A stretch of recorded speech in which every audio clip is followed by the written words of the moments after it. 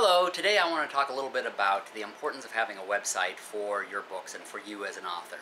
Uh, in my particular case, I have bandwagononline.com. I have one specifically for Relic Worlds, and I'm considering doing one that's jeffmcarthurauthor.com. I'm not 100% certain.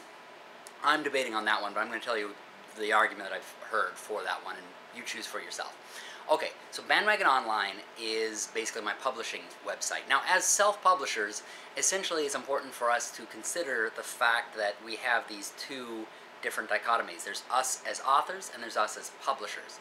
I try to have those two be separate. I don't just have the, the Jeff MacArthur as an author type of thing.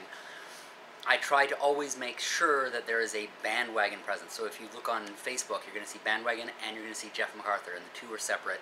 On Twitter, I have them as separate. Um, now, as for a website, I just have bandwagon, and that is the different books and all that sort of thing. Um, but in general, what I try to do is I try to make it so, okay, the bandwagon stuff talks specifically about publishing and about releasing books and what I currently have out, what I'm planning to have out, etc., etc. Whereas as an author, I try to talk about the craft of writing. Um, and he also, by the way, keeps my own head straight as the two of them. You know, but anyway, so the uh, Jeff MacArthur author is more of the artist, more of the uh, creating the books and putting them together. And I talk more about creating them and putting them together. Whereas as a publisher, I try to talk about releasing them. And this particular thing goes out on my bandwagon site, on the publishing site, because that's more about what I'm talking about, is working as a uh, as a publisher. Every now and then I'll talk about the writing as well. The two are going to cross over, etc. But for the most part, that's the, the, the, way I separate them. So, with the website, I, that's why I have the bandwagon as the website because all the books that are published are up there. Um, and when I want to send information to people about the books and the information about them and where they are and etc. etc. and what's coming out when, uh, I want them to go to that particular site as an author page, it would be just about me and what I'm doing, and for the most part, here's my life. Type, type. Occasionally a cat comes up and bugs me. Type, type, type. Cat molests my head. Type, type. That's my life, you know, as, as a writer.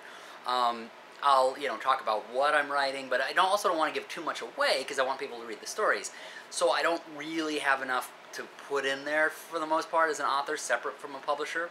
So that, that's like I say, that's what. Although some people have said it's a, here's the argument in favor of it.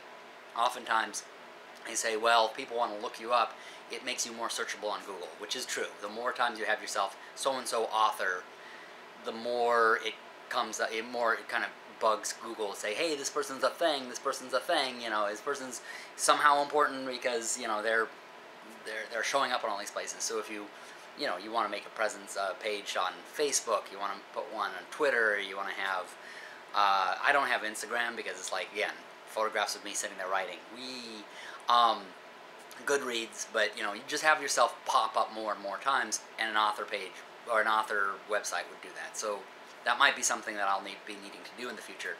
Uh, it may be there while you're watching this, I, who knows.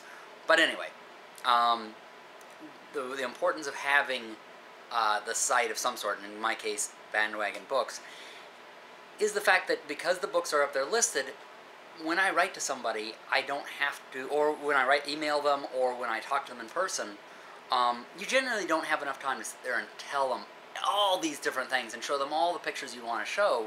You have enough time to grab their attention, tell them a little bit more, and then you want to send them somewhere that, that they can look at at their leisure. Um, especially as authors, we're oftentimes not the best at, uh, at, at fast talk.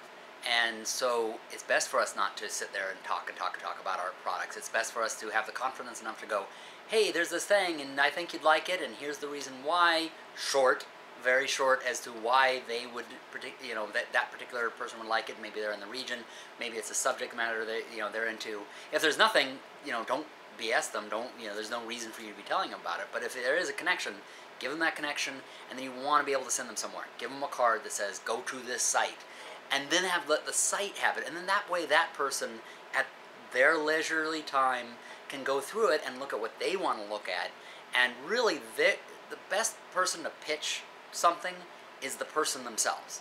So what do I mean by that? Well, if I'm trying to tell Bob over here, hey, you know, you're going to really want this stuff, the best person to pitch to Bob is Bob, because uh, you know Bob can convince himself better than you can, and so what's best is to give let the information be there, give the information to Bob, you know, and if he goes to it, for he will then decide what to look at. And what I mean by Bob's the best person to pitch to Bob is because let's say you're trying to tell him all this stuff, you don't know which pictures he's going to want to see at first. You don't know what's going to attract him first. It's best to just have it there and then let Bob choose what to look at and what to find important and what not to find important. Because then he will determine what's the most important thing to uh, look at and to, um, to, to, you know, let he'll convince himself better than you ever can, basically. Um, so that's the reason it's important to have a website with your stuff because most of the time you're only going to have enough time to tell somebody, hey, here's the basic idea, go and look at it for yourself.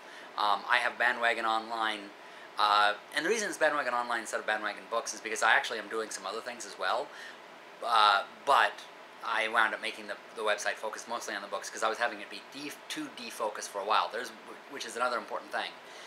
Keep it focused on what you know they're going to want. Basically, think about the person you're pitching it to and what they're going to want to see when they go to it. Originally, when I had books and games and da da da da da, books, games, videos was the initial thing, and then I had it going all over the place. I started thinking from the point of view of somebody I'm trying to have look at it. You know, they're going to go in there and like a lot of them are not ga- gamers necessarily, and they're not a lot of them are not into videos, so they're going to be like, why is all this other stuff here?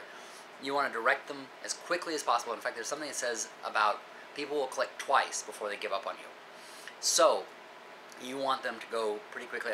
In fact, on the bandwagon site, I will have um, in the spotlight, and as like the main book that I happen to be pitching the most of that time, the one that I'm writing to people the most about during that particular time period, um, because I want them to see it right away, and I want them to click on it, and I want them to go right away to it.